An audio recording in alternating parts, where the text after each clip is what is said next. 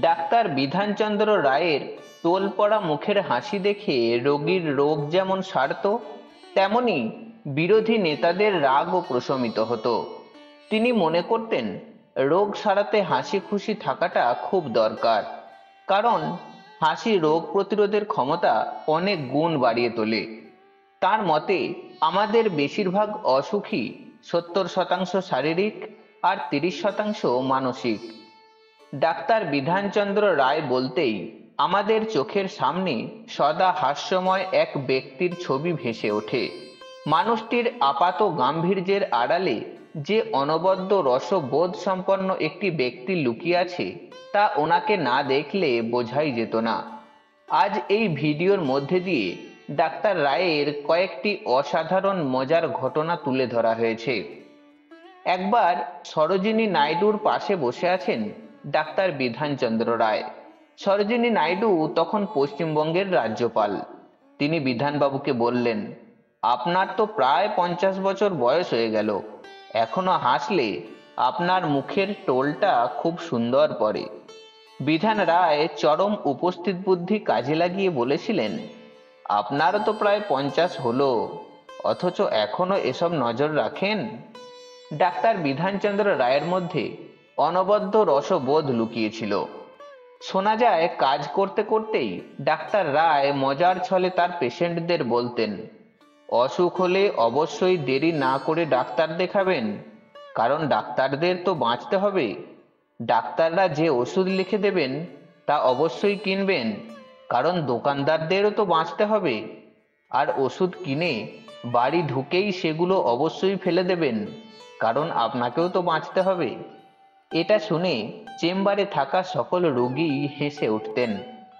সময়টা উনিশশো তেতাল্লিশ। দীর্ঘ অনশনের পর অসুস্থ হয়ে গান্ধীজি আছেন পুনার আগা খান প্যালেসে। ক্রমাগত বমি হচ্ছে, অবস্থা সংকটজনক। এমন অবস্থায় ডাক পড়ল ডাক্তার বিধান রায়ের। গান্ধীজি আগে থেকেই বলে রেখেছেন, তাকে যেন কোনোভাবেই গ্লুকোজ দেওয়া না হয়। তিনি কৃত্রিমভাবে তৈরি কোনো কিছুই খাবেন না। এ কথা শুনে ডাক্তার বিধান রায় গিয়ে গান্ধীজিকে বোঝান, আপনাকে গ্লুকোজ খেতে হবে না। আপনি বরং চার চামচ লেবুর রস খান। লেবু যেহেতু প্রাকৃতিক, সুতরাং আপনার খেতে কোনো অসুবিধা হবে না। গান্ধীজি অবশেষে রাজি হয়ে লেবুর রস খেতেই তার বমি বন্ধ হয়ে গেল এবং শারীরিক অবস্থা ক্রমশ ভালো হতে লাগল। এর কিছুদিনের মধ্যেই গান্ধীজি আবার অ্যাঙ্কাইলোস্টোমাইসিস রোগে আক্রান্ত হলেন। তাই পুনরায় বিধানবাবু গান্ধীজিকে দেখতে এলেন। এদিকে গান্ধীজি অ্যালোপ্যাথি চিকিৎসা গ্রহণ করতেন না, হোমিওপ্যাথি চিকিৎসা করাতেন। তাই তিনি বিধানবাবুকে বললেন, দেখো বাবু, দেশের চল্লিশ কোটি দিন দুঃখী মানুষের অসুখে যখন তোমার ওই অ্যালোপ্যাথি চিকিৎসা দিতে পারো না তখন আমি বা তোমার চিকিৎসা নেব কেন? বিধান রায় বললেন, ঠিকই মহাত্মাজি, দেশের চল্লিশ কোটি মানুষের চিকিৎসা আমি করতে পারিনি। কিন্তু এই চল্লিশ কোটি মানুষের যিনি আশা ভরসা, চল্লিশ কোটি পরাধীন মানুষ যার মুখের দিকে তাকিয়ে আছে, চল্লিশ কোটি মানুষের দুঃখ লাঘবের ভার যার হাতে, তিনি বেঁচে থাকলে চল্লিশ কোটি মানুষ নিশ্চিন্ত থাকবেন। তাই আপনার চিকিৎসার ভার সেই চল্লিশ কোটি মানুষ আমার উপর দিয়েছে। এমন হৃদয় জুড়ানো কথা শুনে গান্ধীজি চুপ করে গেলেন। কিছুক্ষণ পর বললেন, কিন্তু আমি তো অ্যালোপ্যাথি চিকিৎসা কখনোই নিই না।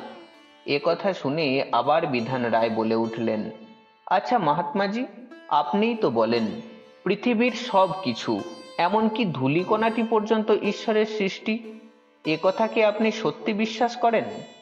গান্ধীজি বললেন নিশ্চয়ই নিশ্চয়ই আমি বিশ্বাস করি, সবই ভগবানের সৃষ্টি। বিধানবাবু বললেন, তাহলে মহাত্মাজি, আমাকে বলুন তো, এই অ্যালোপ্যাথি চিকিৎসাও কি তার সৃষ্টি? এবার গান্ধীজি হেসে ফেললেন, বললেন, ওহে, তোমার তো ব্যারিস্টার হওয়ার কথা ছিল, তুমি ডাক্তার হলে কীভাবে? দাও, তোমার কি ওষুধ দেবে? বিধান রায়ের মন্ত্রিসভার অন্যতম মন্ত্রী ছিলেন হেমচন্দ্র রায়। বেলেঘাটার জমিদার বাড়ির ছেলে ছিলেন তিনি। খুব পান খেতেন। এই খবর জানাজানি হতেই জমিদার বাড়ির সেই পান খাওয়ার জন্য সরকার পক্ষ থেকে শুরু করে বিরোধী পক্ষ সবাই তার কাছে আবদার করত। তিনিও সবাইকে পান খাওয়াতেন। একদিন বিধানবাবু হেমচন্দ্রকে পাকড়াও করলেন রাইটার্স বিল্ডিং এর লবিতে। তারপর সবার সামনে বললেন ওহে হেম, পান দাও, কিন্তু প্রাণ দিও না। উনিশশো চুয়ান্নতে তখন বিধানচন্দ্র রায়, পশ্চিমবঙ্গের মুখ্যমন্ত্রী, বিরোধী দলনেতা জ্যোতি বসু। তার নেতৃত্বে শিক্ষকদের জমি আন্দোলনে সরকারের তখন বেসামাল অবস্থা। বিধানসভার সব কাজ বন্ধ। বিড়ম্বনায় পড়লেন মুখ্যমন্ত্রী। রাজ্যের আইন শৃঙ্খলা ব্যবস্থাও ভেঙে পড়েছে। এই অবস্থায় বিধান রায় পুলিশকে নির্দেশ দিয়ে রেখেছিলেন, যে কোনো বিক্ষোভ হলেই জ্যোতিবাবুকে গ্রেপ্তার করে আগে জেলে ভরে দেবে। তারপর যা হবে দেখা যাবে। ফলে জ্যোতি বসু বারবার গ্রেপ্তার হয়ে জেলে গিয়ে তিতিবিরক্ত হয়ে একদিন বিধানবাবুকে জিজ্ঞাসা করলেন, আপনার পুলিশ যে কোনো আন্দোলন হলেই আমাকে ধরে কেন? বিধান রায় একটুও বিচলিত না হয়ে সহাস্যে উত্তর দিলেন তুমি তো জানো, একটা প্রবাদ আছে, ঝড় এলে সবচেয়ে উঁচু গাছই প্রথম আঘাত পায়। তা তুমি তো একমাত্র সেই নেতা, তোমাকে গ্রেপ্তার করবে না তো কাকে করবে? এমন মজাদার উত্তর পেয়ে জ্যোতিবাবু চুপ করে গেলেন। জ্যোতি বসু তখন বিধানসভায়, বিধানসভার বাইরে পুলিশ তার অপেক্ষায়, বেরোলেই গ্রেপ্তার করবে। এই খবরটা বিধানবাবুর কানে যেতেই তিনি তাকে আলাদা করে ডেকে বললেন রাতে বিধানসভায় থেকে যেতে, যাতে পুলিশ তাকে গ্রেপ্তার না করতে পারে। আর সেখানে তার যেন কোনো অসুবিধা না হয়, তার ব্যবস্থাও তিনি করলেন। বিধান রায়ের এমন আচরণে কংগ্রেসের অন্যান্য নেতারা সেদিন খুশি হননি। এই ব্যাপারে বিধান রায়ের বক্তব্য ছিল, আমার বিরোধী দলের হলেও উনি একজন খুব বড় রাজনীতিবিদ, ওকেও দেশের প্রয়োজন। বর্তমান পরিস্থিতিতে রাজনৈতিক নেতাদের কাছে সৌজন্যবোধের এই নিদর্শন মানুষ আশাই করে না। বিধানসভায় মুখ্যমন্ত্রী বিধান রায় প্রচুর টাকা খরচ করে একটা নতুন অফিস বানান। আর সেখানে আনা হয় সেগুন কাঠের এক রাজকীয় চেয়ার। জ্যোতিবাবু বিধানসভায় এর তীব্র প্রতিবাদ করলে মুখ্যমন্ত্রী বিধানবাবু উঠে দাঁড়িয়ে বলেন, তুমি এতে প্রতিবাদ করছ কেন? তুমি তো এই মুখ্যমন্ত্রীর চেয়ারে একদিন বসবে তরুণ বিরোধী দলনেতা জ্যোতি বসু সাংঘাতিক লজ্জা পেয়ে বসে পড়লেন। উনিশশো বাহান্নর বিধানসভা ভোটের কিছু আগে নির্বাচনী প্রচার সভা থেকে একে অপরকে তীব্র আক্রমণ করছেন ডাক্তার বিধানচন্দ্র রায় এবং জ্যোতি বসু। একদিন ধর্মতলাতে বিধান রায়ের জনসভা। সেখানে পৌঁছে গাড়ি থেকেই তিনি দেখলেন জ্যোতি বসু পায়ে হেঁটে কোথাও যাচ্ছেন। সেক্রেটারিকে দিয়ে জ্যোতিবাবুকে ডেকে পাঠিয়ে তিনি কোথায় যাচ্ছেন তা জানতে চাইলে প্রত্যুত্তরে জ্যোতি বসু বলেন, আপনার সরকার ট্রামের ভাড়া বাড়িয়েছেন। আজ তার প্রতিবাদ মিছিল আছে, সেখানেই যাচ্ছি। শুনে বিধান রায় হেসে বললেন, খালি পেটে বিধান রায় আর কংগ্রেসকে হারানো যাবে না। গাড়িতে উঠে এসো, খান কয়েক লুচি আছে, দুজন মিলে উদ্ধার করি। তারপর তুমি গিয়ে বিধান রায়কে গালাগালি করো। তাহলে একবার ভেবে দেখুন, মুখ্যমন্ত্রী হলেও তিনি কতটা মানবিক ও মজাদার ব্যক্তি ছিলেন। উনিশশো তিপান্নর গণনাট্য সংঘের জমিদারি প্রথা উৎখাত নিয়ে উনষাটটি নাটক কংগ্রেস সরকার নিষিদ্ধ করে দেয়। যদিও শোনা যায়, এতে বিধান রায়ের তেমন সায় ছিল না। সেই বিবাদ শেষ অবধি বিধানসভা পর্যন্ত গড়ায়। বিধানসভা হলে বিরোধী দলনেতা জ্যোতি বসু বিধান রায়কে উদ্দেশ্য করে বলেন, আপনি হিটলারের মতো আচরণ করছেন। এর উত্তর দিতে গিয়ে বিধান রায় স্মিত হেসে বলেন হ্যাঁ হিটলার স্টালিনের উত্তর দিচ্ছে। এই উত্তরের প্রত্যুত্তর না দিয়ে জ্যোতি বসু মুখ টিপে হেসে নিজের আসনে বসে পড়েন। কৌতুক যেন মজ্জায় মজ্জায় ছিল বিধানবাবুর। একবার খাদ্যমন্ত্রী প্রফুল্ল সেন কিছুতেই স্বীকার করবেন না যে খাদ্যাভাবে লোক মারা গিয়েছে। বিধানসভায় এই নিয়ে তুলকালাম অবস্থা। বিরোধী সদস্যরা তীব্র আক্রমণ করছেন। কিন্তু প্রফুল্ল সেন ক্রমাগত বলে যাচ্ছেন, খাদ্যাভাবে নয়, হার্ট ফেল করে মারা গেছে। বিধান রায় অনেকক্ষণ এই ঘটনা উপভোগ করার পর প্রফুল্ল সেনকে বললেন, প্রফুল্ল, এমন ঘটনা তুমি কি কখনো দেখেছ যে কেউ মরেছে কিন্তু হার্ট ফেল করেনি? আরে বাবা, আমরা ডাক্তাররা তো জানি, যে রোগেই মরুক, মরলে তাকে হার্ট ফেল করেই মরতে হবে। ডাক্তার রায় ভীষণভাবে ঈশ্বর বিশ্বাস করতেন। মুখ্যমন্ত্রী থাকাকালীন একবার তিনি মকর সংক্রান্তিতে গঙ্গাসাগর গিয়েছিলেন স্নান করতে। বিধানসভার অধিবেশন শুরু হতেই সিপিআই নেতা বঙ্কিম মুখার্জি বিধানবাবুকে খোঁচা মেরে বলেন, তা মশাই কি গঙ্গাসাগরে সারা জীবনের পাপ রেখে এলেন নাকি?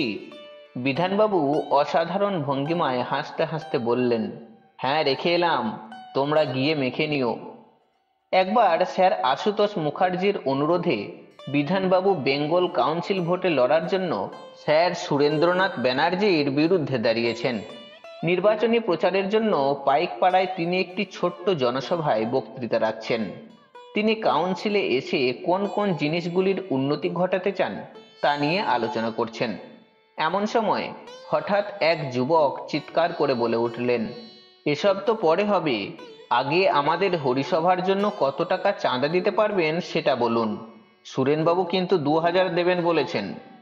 বিধানবাবু তার স্বভাব সুলভ একটা হালকা হাসি হেসে অত্যন্ত শান্তভাবে বললেন, আপনি তো হরিসভাকে নিলামে তুলে দিয়েছেন মশাই। আমি কিন্তু কোনো মতে এটা মেনে নিতে পারব না।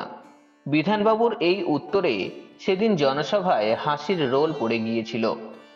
গান্ধীজি একবার বিধানচন্দ্র রায়কে বলেছিলেন, তুমি তো যুক্তপ্রদেশের গভর্নরের পদ গ্রহণ করতেই রাজি হলে না। আমি ভেবেছিলাম তোমাকে ইয়োর এক্সেলেন্সি বলে ডাকার সুযোগ পাবো, তা আর তুমি হতে দিলে না। বিধানবাবু হেসে জবাব দেন, আমি আপনাকে আরও ভালো বিকল্প দিতে পারি। আমি পদবিতে রয়, তাই আপনি আমাকে রয়্যাল বলতে পারেন। আর যেহেতু অনেকের চেয়ে লম্বা, সেহেতু আপনি আমাকে রয়্যাল হাইনেসও বলতে পারেন। সেটা কিন্তু যথার্থই হবে। এমন কথা শুনে গান্ধীজি ভীষণ হেসেছিলেন। দেহ অবসানের কয়েক বছর আগে কেওড়াতলা মহাশ্মশানের বৈদ্যুতিক চুল্লির উদ্বোধন করতে এসে বিধানচন্দ্র বলেছিলেন, ওহে, আমাকে এই ইলেকট্রিক চুল্লিতেই পোড়াবে। দোসরা জুলাই উনিশশো বাষট্টি। তার সেই ইচ্ছাও পূরণ করা হয়েছিল। আর যারা তার নিন্দায় সদা মুখর ছিলেন, তাদের সম্বন্ধে জীবন সায়ন্যে এসেও বিধানবাবু মজা করে বলেছিলেন, দেখবে, আমি যখন মরব, তখন ওই লোকগুলোই বলবে, লোকটা ভালো ছিল গো আরও কিছুদিন বাঁচলে পারত। আসলে তখনকার দিনের মানুষরা নিজেদের কর্ম এবং মানসিকতাকে কখনোই একসঙ্গে মিশিয়ে দিতেন না।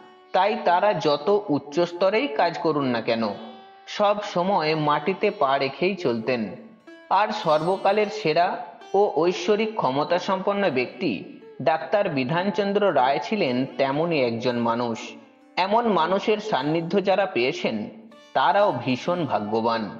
আমরা জীবনপঞ্জি চ্যানেলের পক্ষ থেকে ডাক্তার বিধানচন্দ্র রায়কে সশ্রদ্ধ প্রণাম জানিয়ে আজকের ভিডিও এখানেই শেষ করছি। আলোচিত ঘটনাগুলির মধ্যে কোন ঘটনাটি আপনাদের সব থেকে মজার বলে মনে হয়েছে, তা অবশ্যই কমেন্ট করে জানাবেন। আর চ্যানেলে নতুন হয়ে থাকলে চ্যানেলটিকে সাবস্ক্রাইব করে পাশে থাকবেন। ফিরে আসব পরবর্তী ভিডিও নিয়ে। ভালো থাকুন, সুস্থ থাকুন। নমস্কার।